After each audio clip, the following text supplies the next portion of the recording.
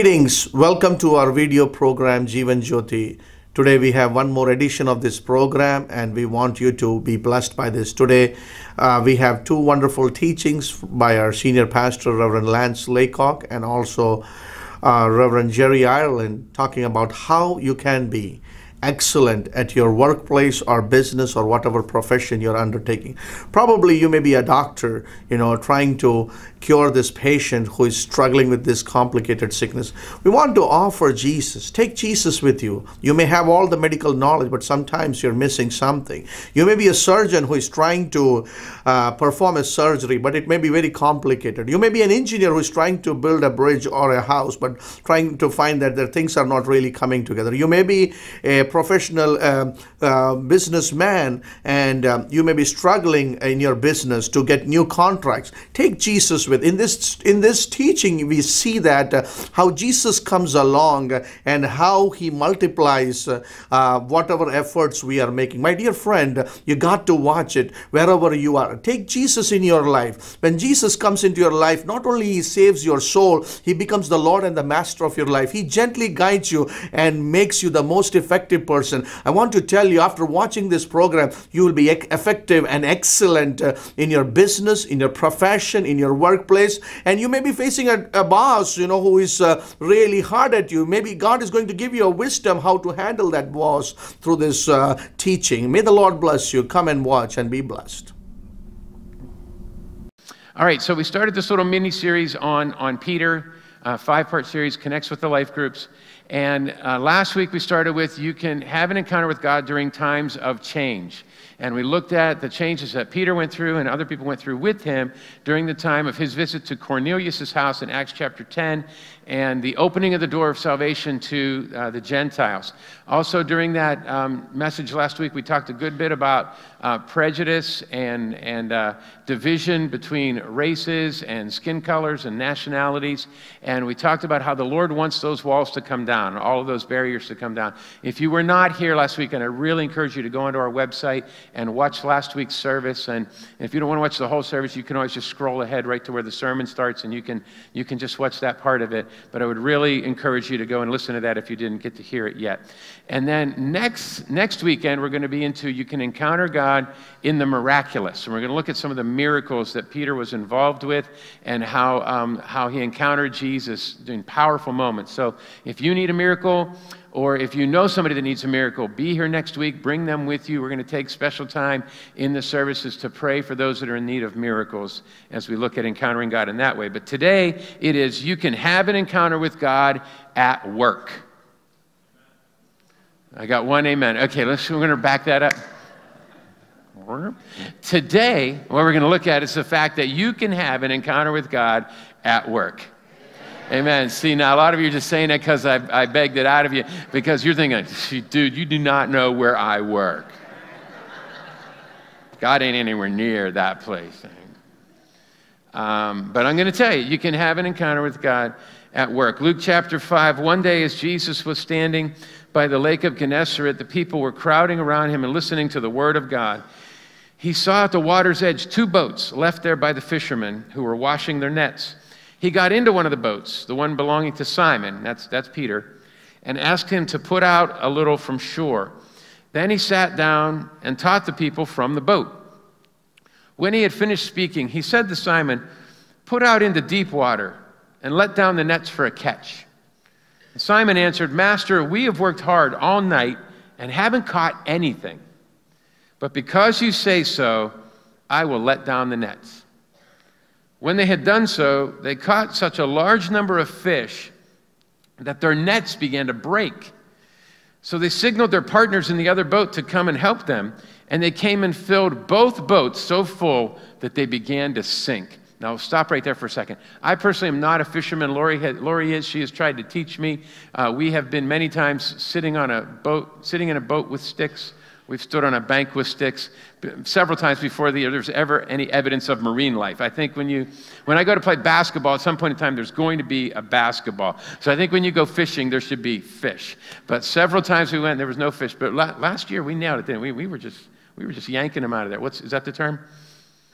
We were just pulling them. There were several fish that we, a whole bunch. Anyway, um, but I want to know how many of you, how many of you do like to fish? How many fishermen?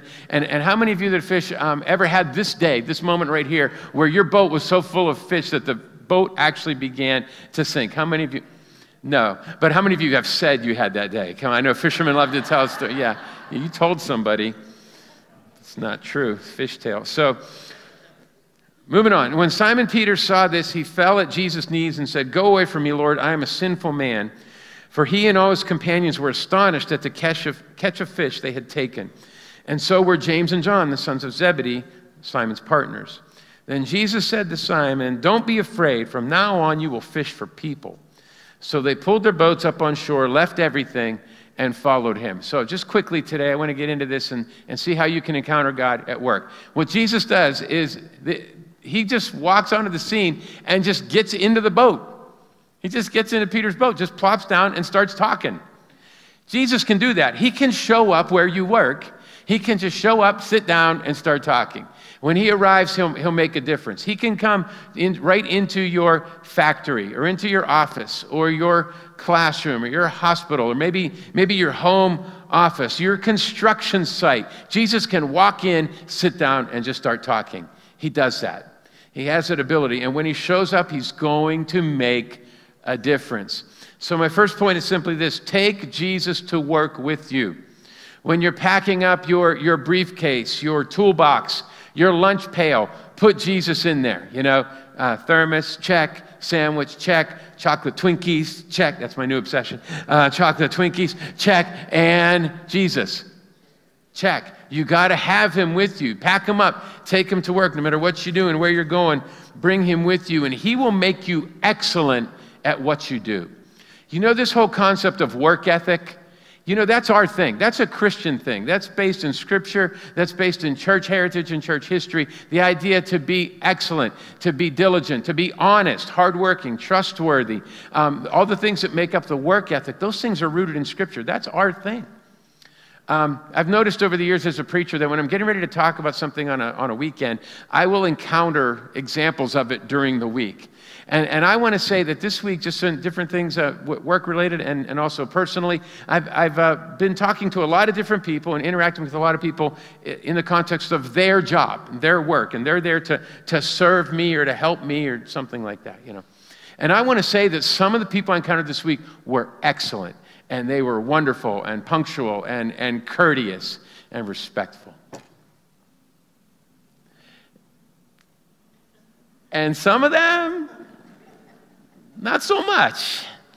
Anybody encounter any not so much people lately? I mean, like, I, am I'm, I'm having these encounters with them, and then later I'm literally wondering, like, how in good conscience did you pick up a paycheck at the end of the week and take it home after what you just did to me and how you treated me as, as a paying customer, you know? And, and that's everywhere, isn't it?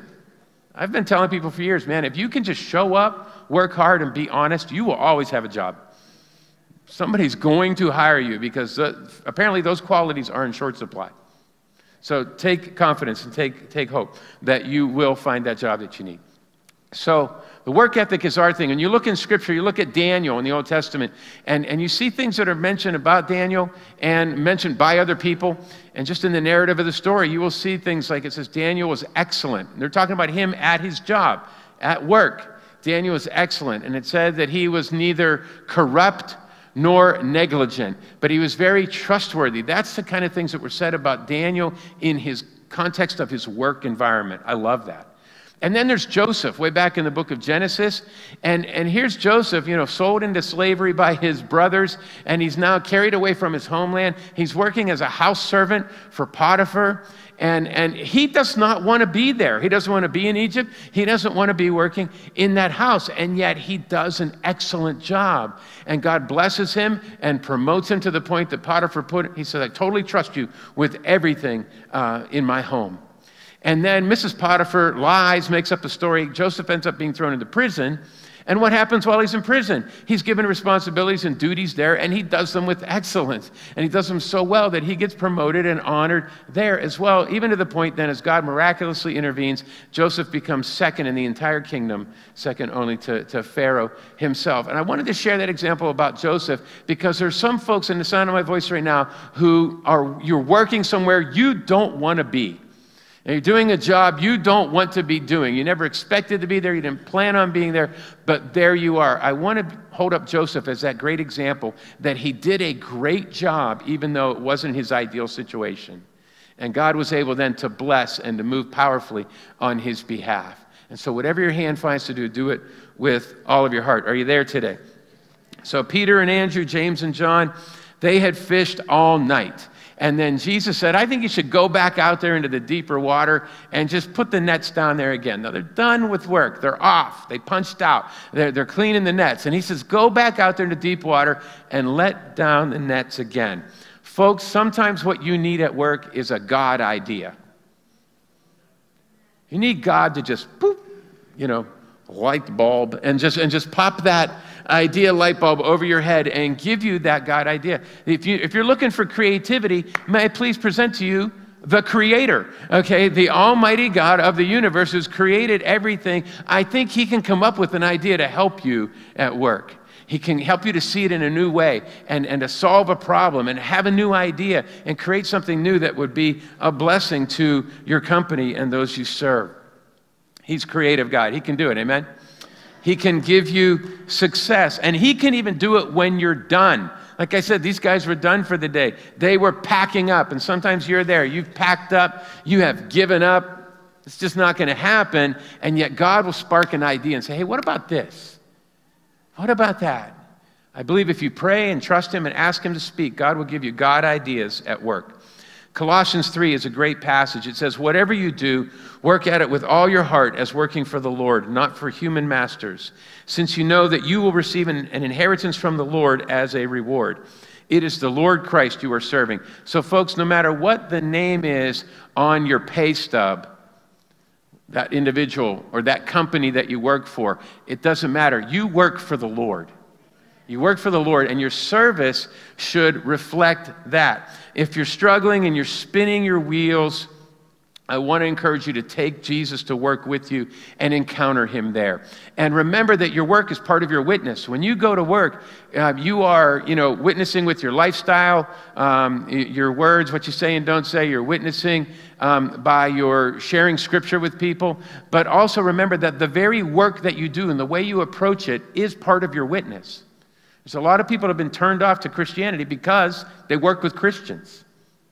That's a shame. That's embarrassing. Christians should be the best employees, the most honest, and the, and the hardest working. Somebody say amen quick. All right, thanks. So, take Jesus to work. And then, secondly, be aware that Jesus might change your work. He might change your job. Last week we, we talked about how Peter, you know, went from being a fisherman to being a fisher of people, and he had no idea how God was going to open wide the doors of salvation for all the Gentiles, which is most of the world, most of the people that are in this room right now. That was that happened because Peter laid down his nets that day and started walking in a different vocation. We are all called to follow Jesus. And sometimes that call to follow includes a call to leave, something that you used to do because God will call you in a vocational manner and He'll call you for your whole life. Um, in marriage, we are instructed to leave and cleave. You, you, on your wedding day, your, your primary human relationship changes from your family of origin to your spouse. And, that, and that's, you have to totally leave in order to cleave. You have to leave mom and dad and go over here. Has anybody ever seen Everybody Loves Raymond?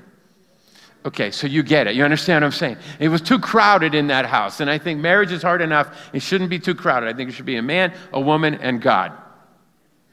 And those three people right there will, have, will work it out, and they will end up having uh, a tremendous marriage in that house. But it's too crowded. So we don't leave. We have a hard time cleaving. And God sometimes calls us to leave something behind so that we can really follow what He has for our lives. And these guys did it sacrificially. We just talked about this is the best day fishing ever. I mean, their boats, they had to pull those boats up on shore. They're heaped up with fish.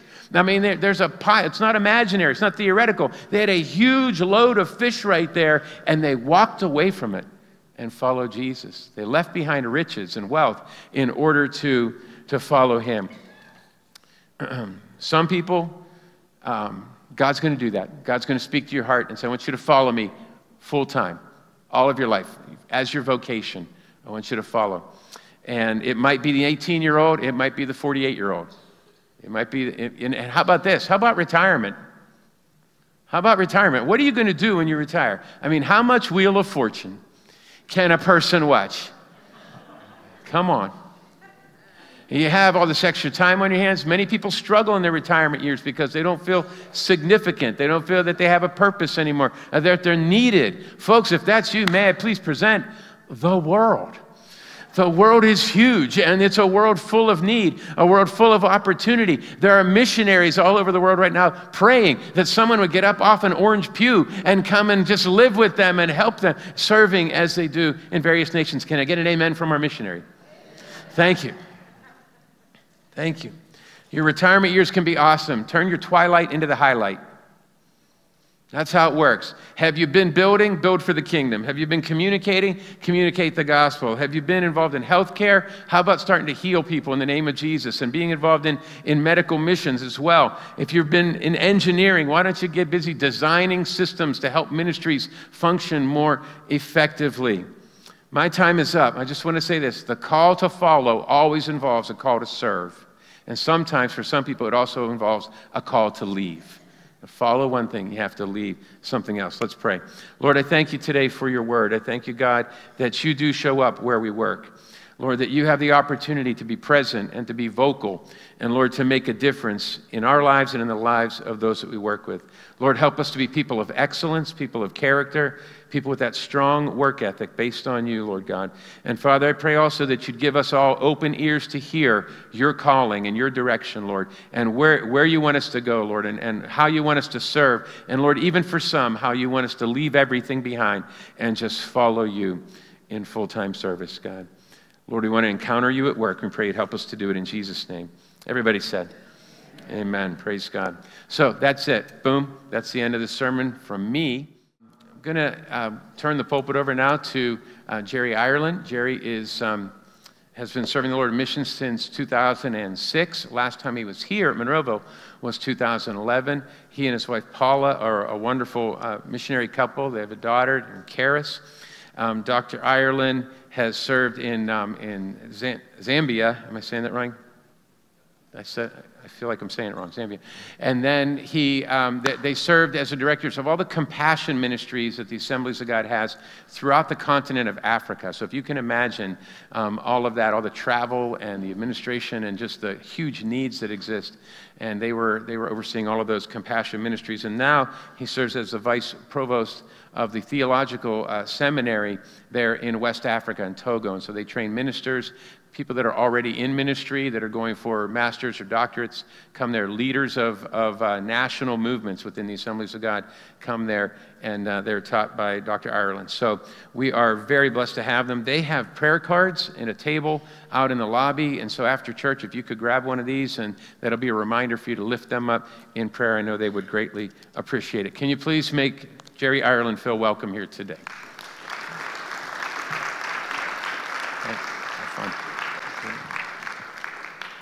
Good morning. Uh, it's really great to be back at this church. Um, I, my wife and I uh, just love this church, and my, my wife was very disappointed that she didn't get to come on this trip, but she's back in Springfield, Missouri with our, our seven year old daughter uh, who has school tomorrow, so, so they're, they're holding down the fort there. But um, it's just great to be in this church. I love that this is a Pentecostal church. Um, I love that this is unapologetically a Pentecostal church because uh, you would be amazed at how many Assemblies of God churches um, are doctrinally Pentecostal, but they're not functionally Pentecostal. Um, and I, I, just I thank God for this church because I, I, know that this is a praying church and that this is a church that, that listens to the Holy Spirit and that gives space for the Holy Spirit to move. So um, it's just a real honor and a, a, pleasure to be here. I do have a message uh, this morning from Exodus chapter 3, so if you want to open your Bibles or, or your electronic device to, to Exodus 3. Um, before I get into that, though, um, I want to share with you uh, an opportunity um, that you're going to have a chance to give to at your missions convention that's coming up in about five weeks. Um, and uh, anyway, we'll show the video and then I'll, I'll explain it afterwards.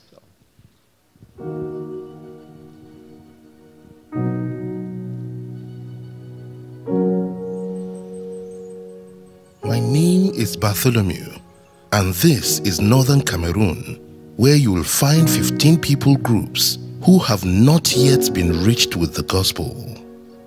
They have never heard his story, known his forgiveness, or witnessed his wonders. Instead, they have lived in darkness and in fear of death, always, for generations uncounted.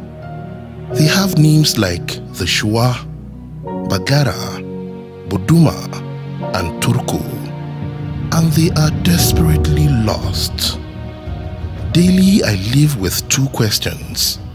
How will they hear about Jesus if no one is sent to them? And how can one be sent without proper training? Here is the solution. My school. It is a Bible school for church planters we are learning to plant new churches and make disciples. From this school, 100 of us go out to surrounding villages to plant new churches. Already, we have a harvest among some of the tribes.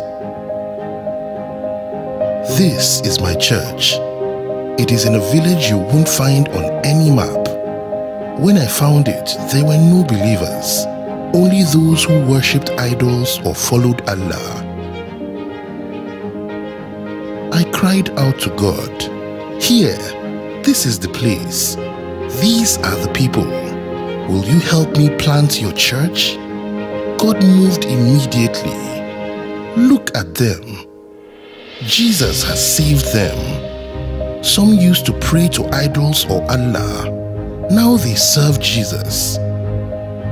Even though they struggle in poverty and life is very hard, they feast on the goodness of God and the peace of knowing Jesus.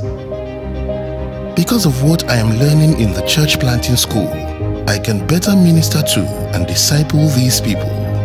But I have much more to learn. That's why our church planting school is so important to us in northern Cameroon. Without this school, we could not train enough church planters to reach these 15 unreached tribes. We live on a great spiritual frontier in Cameroon. There is much to be done. So many villages need a witness of Jesus. Africa's Hope shares our church planting vision for northern Cameroon. They promise to tell the churches in America about what is happening here. We say thank you. Your actions will help plant more churches. The best way to reach 15 people groups is to train and send more church planters like me. This is a journey worth taking.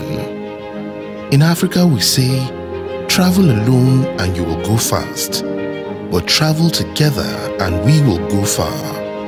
Let's go far together. I, Pastor Bartholomew, and these hundred others want to go reach the Korba, the Fulani, and many others. But we need your help.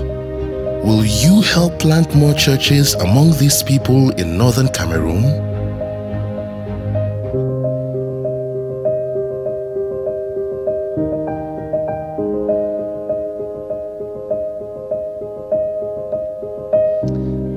As Pastor Lance said, my wife and I have, for the last several years, overseen compassionate ministry for the continent of Africa which is a huge place. Uh, the continent of Africa can actually fit the United States inside of it three times. Um, it's a very big place. And so, very early on in our work in compassion, we realized that if we were really going to make an impact, that it, it was going to be through training and through empowering and equipping local people um, to, to plant churches that, that function as the salt and light of their communities. And so, we've, we've transitioned recently to, from overseeing compassion to being more involved in theological training um, because pastors like Pastor Bartholomew that we just saw there are, are the hope of, of transforming Africa. They're the ones that are going to take, take the gospel to the hardest to reach places all across that continent. And, and to do that, they need theological training. They need the, the tools and equipment um, to be able to, to challenge um, people who believe in Islam and people who have grown up uh, participating in witchcraft for their, their whole lives. And so, um, so we're trying to raise about $20,000 and about 10,000 of that is to is towards our building facilities, which needs some some improvements, and then the rest of it is for scholarships uh, for for needy pastors. And so I, I just want to thank you in advance uh, for giving to that, um, and uh, thank you for your prayers, and um, uh, keep the prayers coming because we we desperately need them. So Exodus chapter three, and I want to talk about the call of God this morning.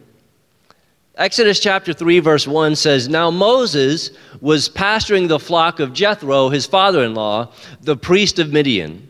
And he led the flock to the west side of the wilderness and came to Horeb, the mountain of God.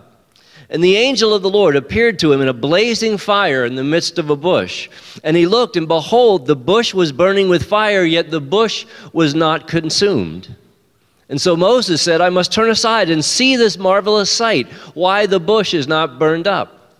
When the, when the Lord saw that he turned aside, God called to him from the midst of the bush and said, Moses, Moses. And he said, Here I am. And then he said, Do not come near here, but remove your sandals from your feet, for the place on which you are standing is holy ground. And then he also said, I am the God of your father the God of Abraham, the God of Isaac, and the God of Jacob. And then Moses hid his face, for he was afraid. And then the Lord said, I have surely seen the affliction of my people who are in Egypt. And I have given heed to their cry because of their taskmasters, for I am aware of their sufferings. So I have come down to deliver them from the power of the Egyptians, and to bring them up from that land to a good and spacious land, to a land flowing with milk and honey to the place of the Canaanite, the Hittite, the Amorite, the Perizzite, and the Hivite, and the Jebusite. Now behold, the cry of the sons of Israel has come to me, and I have seen the oppression with which the Egyptians are oppressing them. Therefore, come now, and I will send you to Pharaoh, so that you may bring my people, the sons of Israel, out of Egypt. But Moses said to God, Who am I? That I should go to Pharaoh and that I should bring the sons of Israel out of Egypt. And God said, Certainly I will be with you. And this shall be a sign that it is I who sent you. When you have brought the people out of Egypt, you shall worship God at this mountain. And then Moses said to God, Behold, I'm going to Israel, and I will say to them, The God of your fathers has sent me to you. Now they may say, What is his name? And what shall I say? And God said to Moses, I am who I am. And he said, Thus you shall say to the sons of Israel, I am has sent me to you. As we talk about the call of God this morning, I want to take a, just a minute and um, clarify some things because I, I, think often in the church we, we continue to look at the call of God simply as something that applies to sort of a select few within the church. We think that the pastor is called and the worship team is called and um, missionaries are called and chaplains are called. Um, but I want to say this morning that every single person in this church has a calling upon your life. Every single one of us are called by God. And so that means that you can, that being a nurse can be a calling, or, or being a, a barista at Starbucks can be a calling, or, or being a, a construction worker, or a truck driver, or a lawyer, or doctor. All of those things can be a calling because you can be, as Pastor Lance just explained, you can be the presence of God in those places. You may be the only light in those places.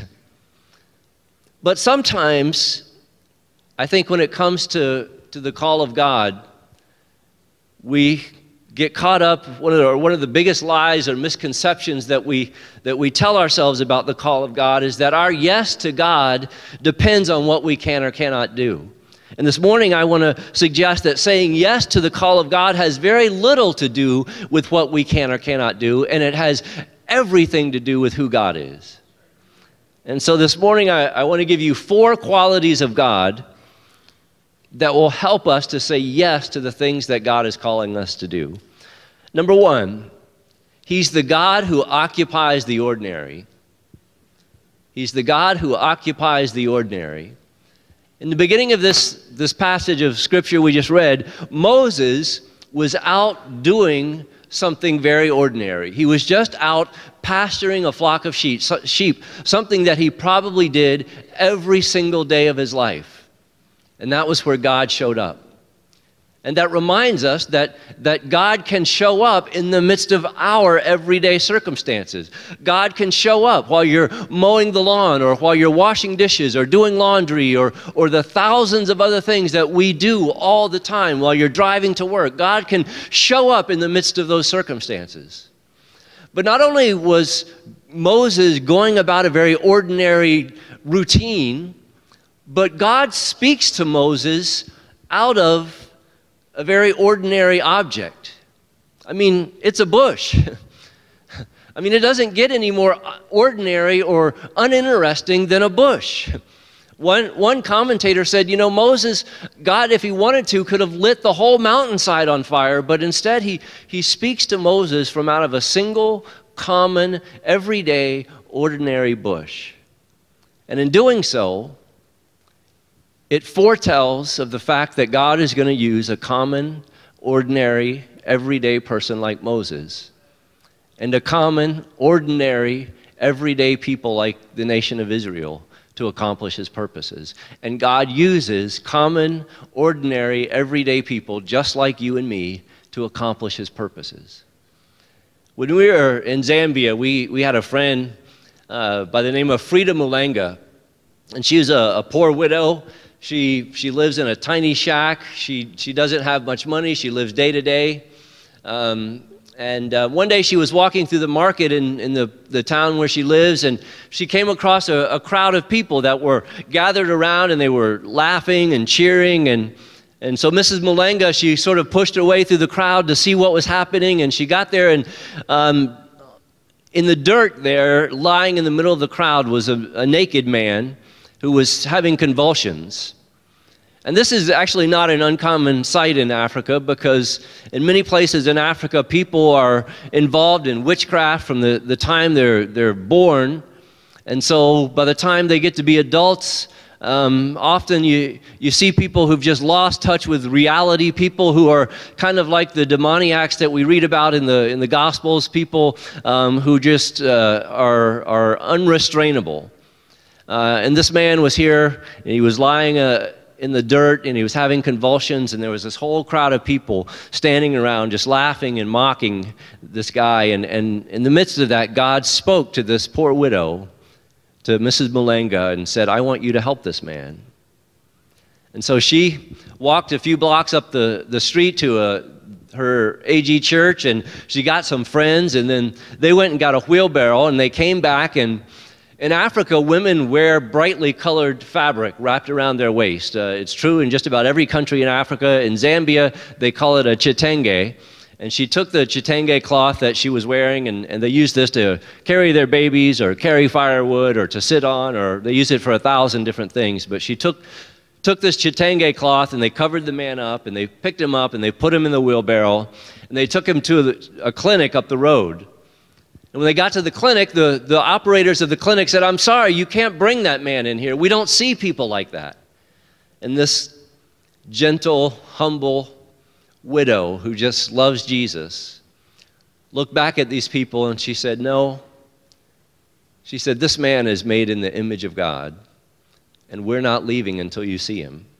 And she sat down in the waiting room. Well, several hours went by, and Several more hours went by, and finally, as the clinic cleared out, they said, okay, fine, bring him in. And they, they brought him in and they gave him a room. And, and this man died in that, that clinic that night. But instead of literally dying in a, lying in a gutter with a crowd of strangers mocking him, he died with dignity. He died with the church, holding his hand, praying over him, singing hymns, because a widow who lives day to day dared to believe that God was speaking to her out of the ordinary circumstances of her everyday life, and dared to believe that God could use somebody like her. God speaks to us in the midst of our ordinary circumstances, and He calls us in our own ordinariness to be a part of what He's doing. Number two, God is a holy God. You know, as Moses began to approach this burning bush, God sort of puts the brakes on and says, Hold it right there. Don't come any closer because the ground that you're walking on is holy ground. And in doing this, God was teaching Moses a very important lesson. God was teaching Moses not to become casual and presumptive about the presence of God. In other words, God was saying, Listen, Moses, I'm going to do some amazing things through you. And God would do some amazing things through Moses. If you look at the course of his life and the ways that God used him and the miracles that, that were wrought through him and, and the ways that God used him to lead the nation of Israel, it's amazing. But God wanted to remind Moses that no matter what great and mighty ways that I use you, don't ever forget that I'm God and you're not. And that sounds like a really simple thing. But the truth is is that an awful lot of great men and women of God have lost their way because they forgot that one thing. You see, when we become casual and presumptive about the presence of God, we, we begin to think that the churches that we pastor belong to us. Or we begin to think that the ministry roles that we have are owed to us. When, when we become casual and presumptive about uh, the presence of God, we inevitably think too highly of ourselves and too little of God. God is a holy God. And there's this sort of duality at work when it comes to the holy presence of God. And it's this it's that, that not only do we have to have this reverential awe for, for the power and the presence of God, but we, we need the power and presence of God to do the things that God has called us to do. I have never had a single day in ministry where I got up and, and felt like, God, I can do this without you today. Not once. Every single day I wake up and feel like I'm in way over my head. And that's a great place to be in ministry. It's a great place to be in life because it makes me pray a lot. when we were itinerating back in, in 2007, we had gone through the season of, of about six months where we were, we were on the road constantly. We were in churches Sunday morning and Sunday night and Wednesday night, and we were in home groups. And, and we, every time the church doors were open, we were there trying to, trying to get our budget raised. And for about six months, though, we didn't get a single pledge. And we, we just said one day, we said, you know what, let's just set aside a day. And so we set aside a Saturday to pray and fast and, and just, just meet with God and see what was and just call out to God and see what God might do. And so we set aside this Saturday, and my wife is, she's very musically gifted. She plays the ukulele and the banjo and the guitar and the keyboards, and um, I don't play any of that. Um, in fact, I'm so musically uninclined that not long ago we were having our, our family devotions, and my, my seven year old daughter uh, looks up at me and she says, Daddy, she says, maybe when we, we sing songs, maybe you can just move your lips and not make any noise. so, so I have zero musical ability. And my daughter was right to recognize that. But my wife is very gifted, and so that morning she got out the guitar and just started to play, and we just started to worship. And we probably weren't doing that for 15 minutes when the Holy Spirit just fell on the room. And you could just feel God's presence. And we both just began to weep. We just began to sob. We just began to cry out to God. And, and all of a sudden, I began to prophesy. And I, I don't do that often. I, I've done it a handful of times in, in 13 years of, of ministry. But I just began to prophesy and say, It's time to go. It's time to go. It's time to go. And I knew that God was telling us it was time to go to Africa. Then, when, when we settled down and, and the dust settled and we were we finished our prayer time, we kind of looked at each other and thought, well, what does that mean? Because clearly God just spoke to us. We knew that, that God's presence was there, but we still had this big chunk of money we had to raise before we could go. Before the sun set on that Saturday, we had over $300 come in in monthly support. Within 10 days, our entire remaining budget came in without us making a single phone call. And all of that happened, I'm convinced, because God wanted us to know um, what Moses knew when he said, God, if your presence doesn't go with us, we don't want to go. And God was telling us that accomplishing the things that God has called us to do has very little to do with who we are and everything to do with who He is. You see, when, when the Holy Spirit comes, God does things that are bigger than you and I can imagine. Holy Spirit gives us breakthroughs when we need a breakthrough. We have to create space, as Pastor Lance was talking about in this. We have to create space in our lives to seek and to, to pursue the presence of God. And if Africa has taught me anything, it's taught me how to pray. Number three, God is a caring God. The whole reason that God called Moses was because God's people were suffering under the oppression of an evil ruler. Verse 7 says, I have seen the affliction of my people who are in Egypt and I have given heed to their cry because of their taskmasters, and I'm aware of their suffering. Notice there's a threefold response of God He sees, He hears, and He becomes aware. And I am convinced that often we don't respond to the call of God because we don't see, we don't hear, and we choose to remain unaware of the, the needs around us. But a broken heart is a prerequisite for ministering to a broken world. I, I was saved through the ministry of Teen Challenge. Um, and so I often tell people that I have a lot in common with the Apostle Paul because we, we both got stoned and got thrown in jail. Um, but that's another story for another sermon. You'll have to invite me back to tell that one. Um, but I got saved through the ministry of Teen Challenge. And when I went into Teen Challenge, I didn't know where I stood on the whole God thing. I was somewhere between atheism and agnosticism, um, depending on which day of the week it was. But I was, I can tell you this, I was very angry at this God that I didn't believe in.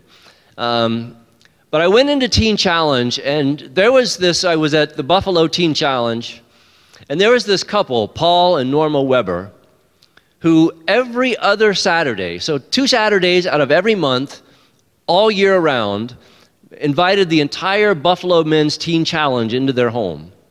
And they would cook hot dogs and macaroni and cheese every Saturday.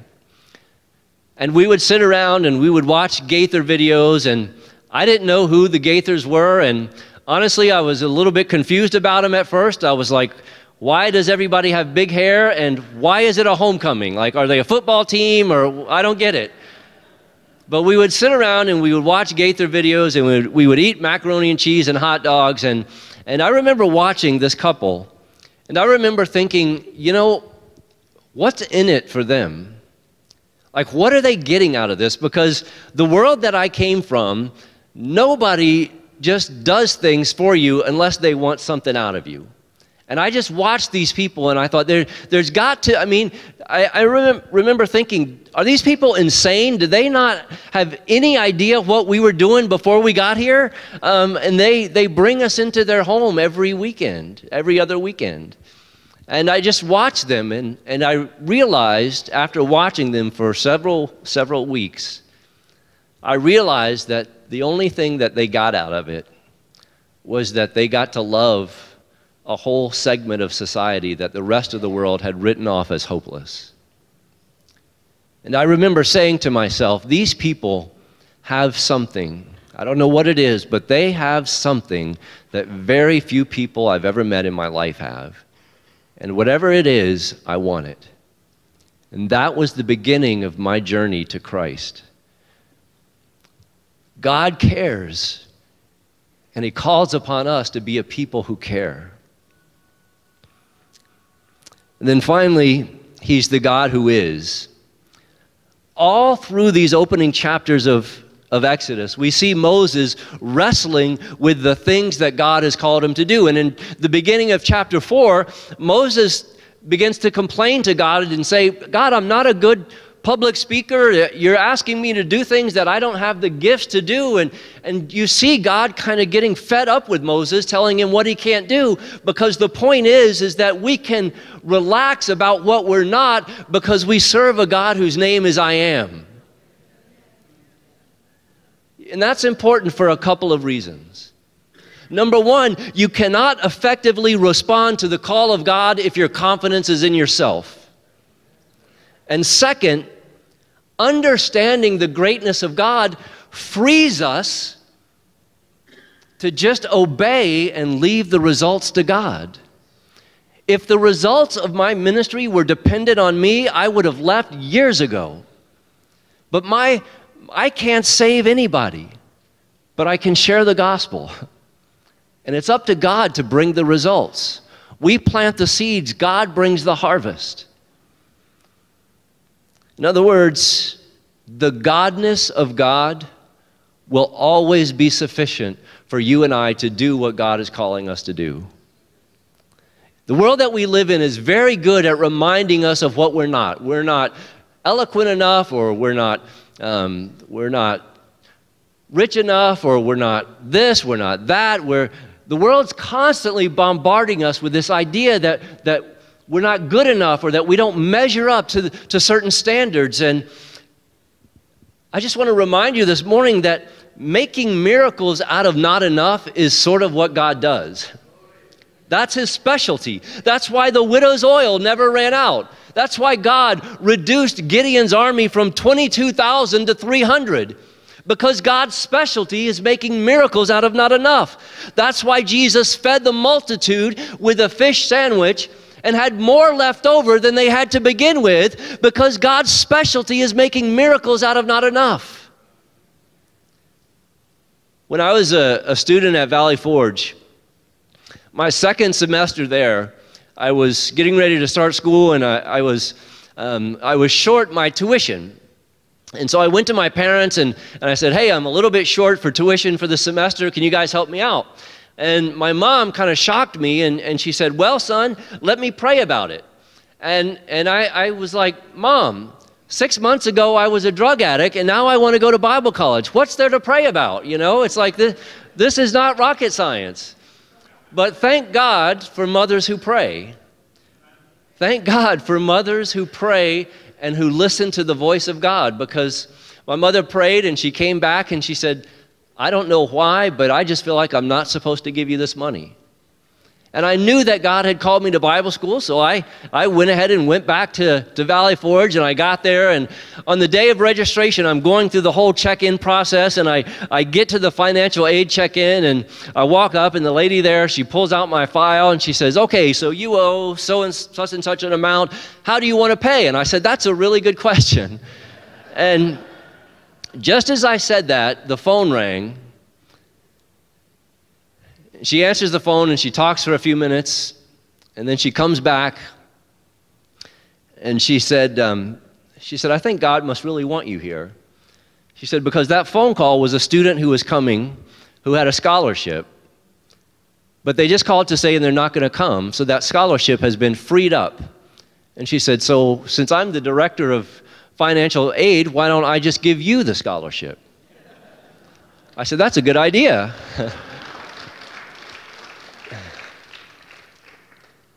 Making miracles out of not enough is what God does. I have never for one day, and I want to invite the worship team to come up, I have never for one day doubted that God called me to ministry because of that incident. But it never would have happened if my mother had given me the money. Sometimes our lack of resources and genuine need is the opportunity for God to do a miracle. Lack of resources and genuine need is often the place where, where God shows up and does something that, that is above and beyond what we could ask or imagine because God wants to remind us that He's God, that He's sovereign, that He can do whatever He wants to do, that His will is not dependent on money or resources or buildings or even our gifts or talents, that God can do what God wants to do. I just want to challenge you this morning as we close and go into a, a time of um, just response. Maybe God is calling some of you to, to just step out and, and go to a place that, that maybe you've never even heard of. Today in missions, we need people who are doctors, builders, nurses, computer experts, IT people. The, I could go all day listing the kinds of professions that we need in missions. It's not, it's no longer the day where missionaries are just preachers. We need people of every kind of expertise you can imagine. And I just want to challenge you this morning that, that God might be speaking to you in the midst of your ordinary, everyday circumstances and saying, I want to use you. I want to use you in ways that you haven't yet even begun to imagine. And some of you, maybe God is calling you to stay right where you're at, but He's calling you to step out in, in greater ways and share your faith to your neighbors or to your coworkers. He's calling you to, to trust Him. Not because you're you're an eloquent speaker or because you've got it all figured out, but because He's sovereign. And the Holy Spirit goes before us and prepares the way. Pastor Lance?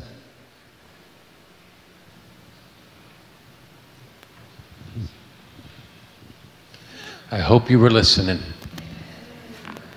I hope you were listening. There's some powerful truth there, and there's some unforgettable illustrations there. Amen. Praise God. Let's stand to our feet. Um, Willie and the team are going to just run through uh, another song. We're going to open the altars right now. And um, we just, this weekend, we just had a lot of people just need to come forward and say, God, um, here I am. Lord, I'm available. God, speak to me. And just by, you know, we can say it, but just something about moving forward to the altar and kind of presenting yourself as a living sacrifice and you saying, Here I am, Lord, use my life however you want to. Uh, you want to do so. So just encourage you, young and old, to, to just begin to make your way forward and find a place of prayer as we go into this last song. I'm just going to say a brief closing prayer, and then, um, you know, as you as you need to go, feel free. Um, if you want to stay and linger for a while, you're welcome to do that as well. Lord, we love you, and we just thank you for the fact that that you are God, and and we're reminded of that today. That you are the one true God, and we're just your followers, Lord God. But what a privilege we have that you choose to use us, Lord God. You choose to involve us in what you're doing. It's such a privilege, Lord. It's just, it's beyond imagining, God. And so, Lord, we just thank you today for the openness, the willingness, God, that our ears are open to your call, Lord God. Our lives are available for your use, God. Send us where you will. Have us to do what you will. Have us to say what you will, God. We submit to your will and your plan today. In Jesus' name, everybody said. Amen. Amen. Praise God. So altars are open. Feel free to come. Feel free to go.